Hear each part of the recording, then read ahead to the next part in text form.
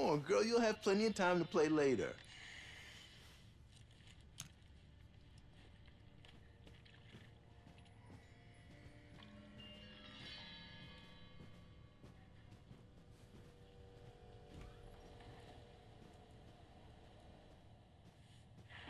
All right, Nathan's waiting for us.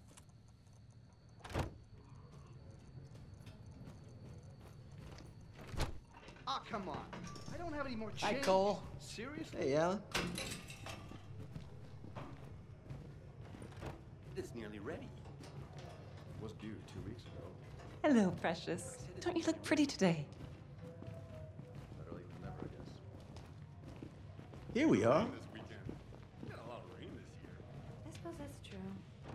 Hasn't been particularly cold though. Babysitting detail, huh, Cole? Hey, Jodie. How's your day been so far?